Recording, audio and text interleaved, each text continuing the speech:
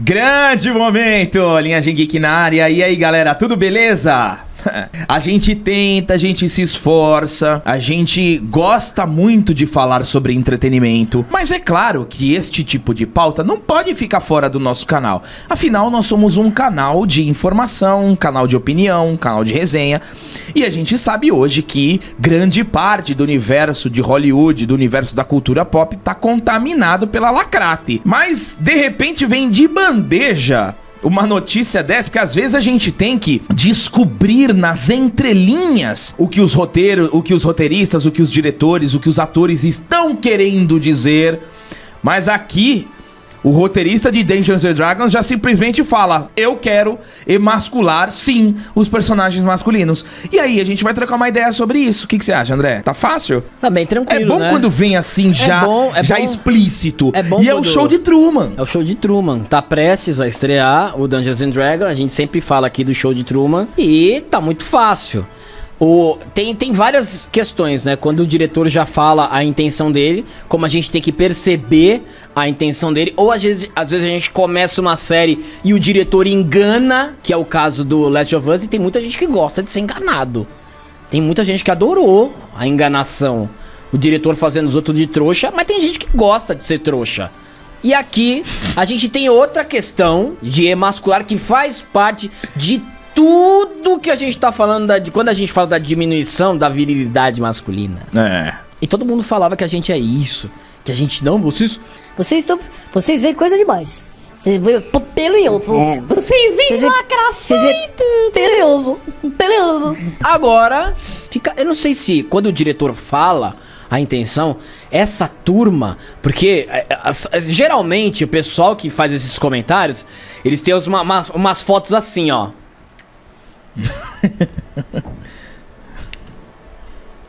Eu não sei se o diretor. Porque fica difícil de enxergar, né? Eu não sei se o diretor falando. Essa turma não consegue abrir um pouquinho a mente e falar. Por quê? Por que ninguém perguntou isso pra ele? Mas por que esse objetivo? E aí você faz um filtro de tudo que a gente fala. Tila, Trinity, Haru, Shun, mulher, mudança de etnia, mudança dali, diminui o papo Hulk. Aí você fica pensando, será que tem alguma coisa parecida ou similar? É claro que tem mais milhares de, de exemplos que a gente pode citar em dois anos. Será que essa cultura woke, que muita gente acha que é cultura, que é teoria da conspiração, será que ela realmente existe? Aqui a gente tá vendo no Dungeons and Dragons. E aliás, a gente jogou o Dungeons and Dragons. Será que a gente pode falar? E tem muita gente é. muito. Vocês não jogaram. Vai vir o cara que tem uma, uma estante com 30 caixas do jogo, né? Defendendo. Claro, sempre vai ter. Sempre vai ter. E assim, eu vou trazer uma reflexão aqui. Que é, no, no vídeo que a gente lançou sobre The Last of Us e outros vídeos que a gente fala sobre The Last of Us, muitas pessoas usam esse argumento que é a seguinte: vocês não jogaram o jogo.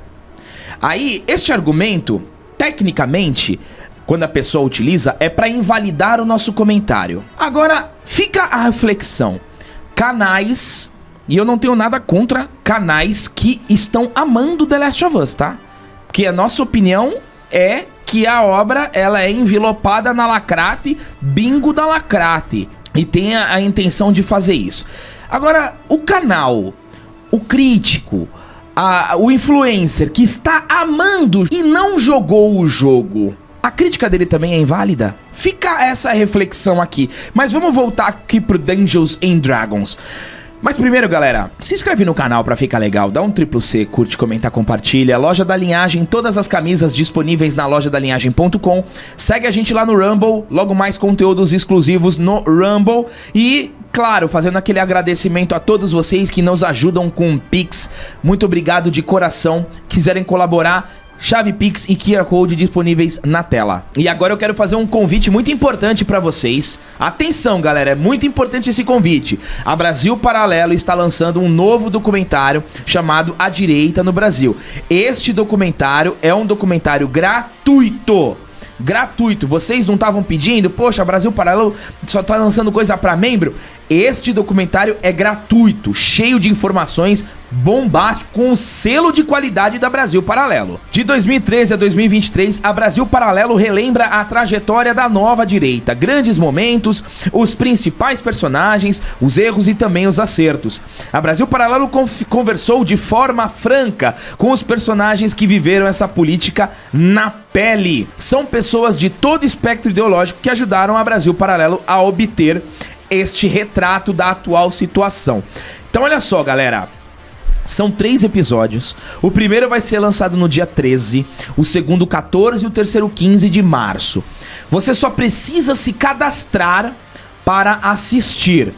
Então, o link aqui na descrição e o QR Code na tela levam vocês pro, pro site para vocês fazerem o cadastro para assistir este documentário. Então, já se cadastrem e vamos assistir a direita no Brasil. E para você que está procurando entrar no mercado de trabalho em 2023 e não tem inglês, vai ser difícil demais. Você sabe que o inglês é um diferencial e ele adiciona muito bem no currículo. Ele dá muito mais chance, dá muito mais respaldo. Você amplia a sua possibilidade de garantir uma vaga. Você precisa do inglês. Você sabe disso, mas eu estou te lembrando. E também vou apresentar para você o método BWA do professor Jonas Bressan. São mais de 150 videoaulas que você pode converter em áudio. Você monta sua rotina de estudos com dois anos de acesso. Você tem a plataforma exclusiva, uma plataforma exclusiva, aulas ao vivo e plantão de dúvidas. Então você não vai ser abandonado, não vai ser aquele curso que você vai comprar, tem as videoaulas e acabou temos aulas ao vivo e você vai poder sanar as suas dúvidas com o próprio professor Jonas Bressan. Se você quer conhecer um pouco mais do professor Jonas Bressan, entra no Instagram dele. Ele está sempre tirando dúvidas frequentes sobre o inglês. Ele tem mais de 20 anos de experiência e 9 livros publicados. Além de tudo isso, é um dos 10 cursos mais vendidos do Brasil. Ele tem um certificado que é válido para todas as empresas e a gente vai dar um empurrãozinho. Já demos aqui, ó. Você já conheceu o método BioE aqui, o que, que ele fornece. A gente vai dar um empurrãozinho para você de 100 reais e o método BioE vai ficar 12 vezes de R$ 49,70. 12 vezes de R$ 49,70 para você finalmente aprender a falar inglês. O link tá aqui na descrição. Não protele, não procrastine e finalmente entre no mercado de trabalho. Então vamos lá, galera. Vamos aqui então para a matéria. Show de Truman. Show de Truman, tá? Show de Truman. Aquele show de Truman que vocês que já acompanham a linhagem já conhecem. Porém, como a audiência é rotativa, Demir Quintino. André, explica o que que é o show de Truman. Show de Truman, galera, é uma teoria que. Teoria não, já é prática, né? Já foi Já, consolidada. já, né? já. é uma, uma prática. O Show de Truman é um filme clássico com o Jim Carrey, filme maravilhoso, que no cotidiano dele, ele percebeu que ele sempre via a, a, a mulher com a flor, o ciclista. Eram as mesmas ações, todos os dias. Então a gente chamou carinhosamente esse momento de show de Truman. O que é o show de Truman? A gente, te- a gente é especialista em, la, em detec- detecção de lacrate, entendeu? Tem o caça-fantasma, somos os caça-lacrate. Quando vai estrear um filme, o que que acontece? O produtor, o roteirista, o ator, o diretor, alguém vai fazer o marketing do filme, dar aquela entrevista, mas esse marketing é sempre puxado para lacrate. E o show de Truman é esse. Vai estrear o filme, anuncia o filme. Vai estar chegando perto do filme, da estreia. Vem uma entrevista com a lacrate. E aí o show de Truman depois ele continua. Essa fase, ela não se concretiza muito, mas é muito utilizada também. Porque depois da primeira fala lacrate, o marketing da lacrate pré-filme, antes do filme estrear, ela é 100%. Aí o que acontece? Estreia o filme com aquele marketing ruim, marketing da lacrate, vai mal na bilheteria e alguém da equipe do filme volta numa entrevista pra culpar o público. Isso Que o público não tá preparado. É. Então esse é o show de Truman completo. No Dungeons and Dragons a gente já, já concluiu 50, 60% do show de Truman. Que essa etapa ela é muito utilizada. Então a gente já concluiu aqui 60 e 70. Falta o declínio da bilheteria e o próprio a própria pessoa que deu a entrevista culpar alguém. Olha é só, mais ou menos isso. exatamente, perfeito. A equipe de roteirista do filme Dungeons and Dragons revela que intencionalmente emasculou os protagonistas do filme e colocou as mulheres na linha de frente. Pra quem ainda é novo aqui, um dos tópicos da agendinha é o rebaixamento da figura masculina e o alavanque, o impulsionamento, o empoderamento da figura feminina dentro de um ambiente de violência onde naturalmente o homem se destaca. Essa é a grande proposta. Ou vocês não perceberam que tem acontecido muito isso no cinema, nas séries, que de repente. Ele né? usou o termo emascular, né? É, aí olha só, o, o emascular, Exato. pra quem não sabe. É bom porque a gente usa aqui também. É, o emascular, se você der um Google, significa perder a virilidade ou castrar. Isso é emascular. E aqui, ó, é interessante já. Emasculou os protagonistas e colocou as mulheres na linha de frente. O que a Marvel tá fazendo? Você pensa um pouquinho no Thor, pensa um pouquinho no Hulk. Vai, vai pensando. Botar as mulheres de frente e emascular. Vai pensando no Neil. Vai pensando no He-Man. Vai pensando em tudo isso. É, o me é a mesma, mesmíssima coisa. É a mesmíssima coisa. Por isso que a gente sempre fala que é o roteiro Default, William Default ou Default, como você quiser chamar. É a mesma coisa. Por isso que quando eu, eu falei em determinado momento do ano passado que parecia que eu tava vendo o mesmo filme sempre, porque era a mesma mensagem, o mesmo estilo, a mesma lacrate, o mesmo fim e o mesmo objetivo. Pelo jeito, eu vou continuar com essa mesma sensação nesse filme. E o mais inteligente é que o público do Dungeons and Dragons é todo feminino. É, exatamente. Quando eu jogava tabuleirinho ali, só tinha Não, menina. quando eu jogava era só mulher. É, eram as meninas Eu- que chegavam. Isso, eu vou ser a maga. Ou tem alguma coisinha, né? É um gênio do marketing o sujeito. Mas beleza, vamos lá. Vamos pra matéria aqui, ó. Dungeons and Dragons Honra entre Ladrões. A equipe de roteirista John Francis Daly e Jonathan Goldstein revelaram que intencionalmente emascularam os protagonistas do filme, embora não por serem woke, ok? Vejam que eles. Eles fazem a lacrata, mas não, não é porque eu tô sendo woke, não. É, eu fiz um filme aqui homenageando o Donald Trump, mas não, por quê? Isso. Ao falar com a Variety, Daly e Goldstein discutiram como Olga, o Bárbaro, de Michelle Rodrigues, e Doric, o druida, de Sofia Lillis, tendem a se envolver na linha de frente da batalha em comparação com os, com os membros do grupo masculino. Aspas, não foi uma tentativa de ser woke da nossa parte, disse Goldstein. Daly ela- elaborou dizendo, aspas, juro por Deus, não foi. Não foi, tá? Gostamos que Olga seja o Brutamontes que faz o trabalho sujo para Edgin. E ele não gosta de sujar as mãos. Também adoramos protagonistas emasculados. E aí, galera? Será que realmente eles não estão sendo woke? Não. Será que eles jogaram o jogo? Se- escreveram? É, isso, mas assim, a, a grande questão é você colocar novamente é, as mulheres na linha de frente em uma posição que não é natural. Não é natural. Ai, mas você tá falando de um jogo. Tudo bem. Só que o público majoritário, o majoritário, tá? Ele é masculino. Então você tem a estratégia. Uma das estratégias da Lacrata é justamente essa: é a manipulação pela, pela cultura. Pela cultura. Você vai colocar. Um monte de criança vai assistir, um monte de moleque vai assistir. E isso começa a entrar no subconsciente. Trabalhando de forma inversa em relação ao papel da figura masculina na sociedade. O papel da figura masculina que foi muito bem representada nos anos 80 e 90, né? Exatamente. Exatamente. O a época em que a gente pode dizer que o Ocidente era mais forte, a década de 80, e isso acaba resvalando na cultura. Não tô falando que é por conta da cultura. Essa é a verdadeira importância da cultura. O que, que você mostra pros outros? O que, que você tá fazendo culturalmente? Você acha que alguém teria medo do Ocidente hoje? Com essas discussões todas?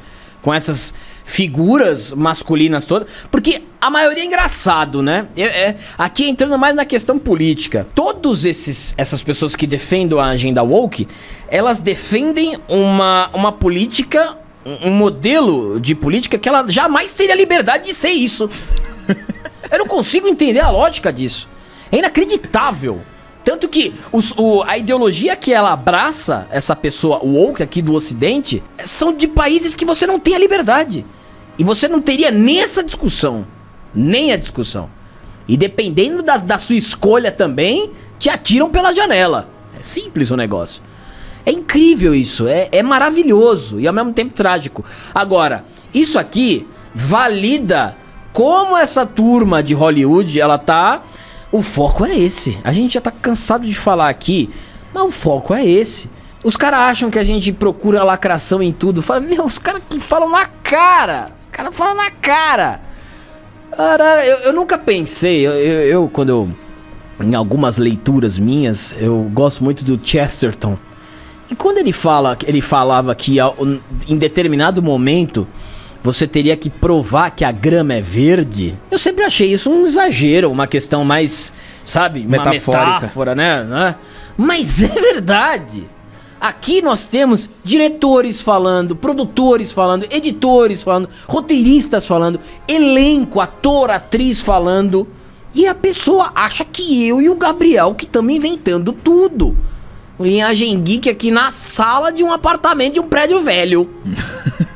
Pô, é difícil, né? A gente, e assim, todas as obras, todas as obras, Resident Evil, Halo, The Last of Us, eu tô pegando dos games, porque o game também faz a, a, a parte da cultura, faz parte da cultura. Resident Evil fez parte da cultura, faz até hoje, tá saindo obra até hoje, tanto nos games, remakes de games, quanto série.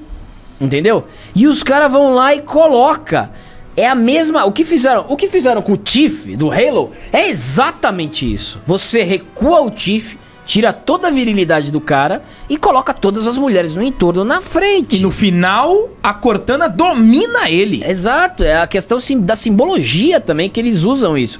Só que a sorte é que essa turma não sabe trabalhar bem a lacrate e fica muito na cara. Só não vê quem não quer, quem quer ser cego ou quem ama demais a série pra admitir que tenha um fundo lacrate. E aqui não é o caso. Entendeu? Mas é, é óbvio o que tá acontecendo no momento. É muito óbvio. Até do Kamen Rider, eles meteram uma menina virando Kamen Rider no final. Olha aqui, ó. Depois de reiterar que os motivos não dizem respeito ao, ao woke, Mas isso é importante. Isso aqui é importante. Porque ele já justifica. Exatamente. Eles estão falando, ó, não é, hein? Não é. É, eu tô emasculando o personagem, mas não é. Exatamente, não é, hein?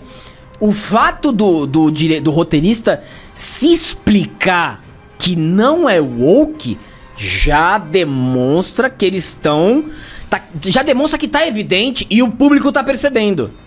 Agora, o cara fazer isso e falar que não é woke, é, aí você chama também todo mundo de burro. Todo mundo de burro. Tem gente que gosta de ser burro, mas aqui, acreditar no sujeito aqui não dá. Voltando aqui, depois de reiterar que os motivos não dizem respeito ao pensamento woke, a dupla explicou que escreveram os homens dessa maneira porque acharam engraçado e novo. É, realmente, é muito novo, né? É novíssimo. É muito novo. Você pega o Hulk na She-Hulk, Nossa. é super novo, né? É. Super novo, Hulk idiota. Vol- voltando aqui, ó. Apontando para o personagem de Rachel McAdams e Jason Batman. Encontro à Noite, de Daly e Goldstein, também escreveram. Eles também pretendiam fazer algo semelhante com Peter Parker e Tom Holland e Tony Stark de Robert Downey Jr. em Homem-Aranha de Volta ao Lar. Aspas, gostamos que nossos heróis masculinos sejam desafiados e não simplesmente heróicos. Vamos lá, galera. O herói faz parte, de- fa- faz parte da construção do arquétipo. Quando você coloca que você não quer colocar um personagem masculino heróico, heróico, você está esvaziando o sentido do herói. Você está esvaziando. Ah, eu não quero que ele seja heróico. Então, quando você trabalha esse tipo de, de, de personagem, já dizendo, ah, eu quero que ele seja engraçado, não só heróico, você já esv- esvazia todo o sentido deste personagem. E aí, pra quem que você mira a sua lente do ato heróico, se você não quer que seja o masculino? Você aponta pro feminino. E é exatamente o que tá acontecendo hoje, só você olhar a Marvel. E assim, Ele foi muito infeliz nessa. Porque ele colocou o Homem-Aranha e o Tony Stark. Olha, o Tony Stark, como ele morre, ele salva o universo. Mais heróico que isso é difícil, né? E o Homem-Aranha, Homem-Aranha é clássico, que tá sempre salvando ali. É o amigão da vizinhança, sempre salvando ali a turma, tentando salvar os amigos. Ele tenta salvar, ele tenta salvar até, ele salva até o bandido. Ele tem isso dentro dele. Eu nunca esqueço numa, numa frase do, do Capitão América pro Homem-Aranha num quadrinho que ele elogia o Homem-Aranha e, e, e quando o Homem-Aranha ele se coloca na frente e leva uma bala. Eu não lembro de quem ele se coloca na frente. E o Capitão América fala: Esse moleque se colocou na frente de uma bala para salvar a pessoa sem nem pensar duas vezes. Esse moleque é de longe melhor que todos nós. Falando dos Vingadores. Isso é o Homem-Aranha. Entendeu? É isso que ele que representa. E o Tony, o Homem-Aranha do, do Tom Holland não é tão diferente. Ele ainda é o Homem-Aranha. E o Tony Stark nem se fala. E o Tony Stark de longe é emasculado. Esse Tony Stark de longe. de longe é emasculado. Agora, o Peter Parker é uma questão de característica. Você pode ter um cara mais sensível, um cara mais tranquilo, um cara mais galinha. É uma questão de característica. Mas não é isso que torna o cara herói ou não. É a personalidade e o caráter dele. Então, o cara. Olha, é difícil, né? Tu, você vê que o cara ele tenta fazer um malabarismo e não consegue explicar. Porque não tem isso. Porque também o ato heróico, ele requer, ele requer a masculinidade. Hein? Lógico. Nesses casos aqui de heroísmo, sabe, heroísmo físico. Precisa de heroísmo físico, entendeu? Nesses casos. Você precisa da virilidade. Você tira a virilidade, o homem acaba, pô. Não, e, e a as- gente já chegou a falar da testosterona, Sim. de que, que tem que diminuir a testosterona. O Top Gun Maverick tiveram críticas, ai, muita testosterona. O James Cameron, não, precisa diminuir a testosterona. Agora aqui tem que emascular. Pô, galera, vamos pensar um pouco. Então, e é exatamente isso que eu ia falar. Cara, o, o filme, o melhor filme do ano de 2022, ele simboliza, ele simboliza exatamente o herói. O herói masculino, o herói que tem a bravura, o homem que tem a coragem, o homem que tem a virilidade. O Maverick, ele é tudo isso. E por que bateu bilhão? O próprio Jake Sully, pai, herói, protetor, representa muito bem a masculinidade. Dois filmes que bateram bilhão. Depois que a Marvel emasculou os seus personagens e empoderou, empoderou as femininas, não bateu mais bilhão. Foi É só que- fracasso. É que pra essa turma, pra essa turma da militância, a masculinidade rebaixa a feminilidade. É Só que isso é da cabeça deles.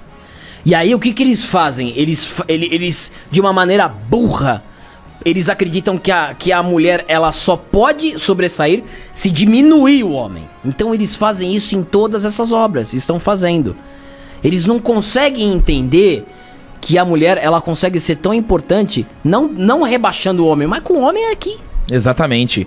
Cada um com a sua função. Exatamente. É só você desenvolver bem uma história que você vai chegar, que você vai ter esse papel. Só que eles, eles têm isso na cabeça. Não, pra a mulher, ela, pra ela estar aqui, eu tenho que rebaixar o homem. Só que o homem estando aqui não significa que ele tá rebaixando a mulher. Só que eles têm isso na cabeça deles. E por isso eles trabalham com essa questão. E por isso que o filme fica ruim, porque fica forçado. A própria, o próprio predador da Haru é isso. Você rebaixa a tribo inteira, inclusive o irmão, uma personagem que mal liga pro irmão.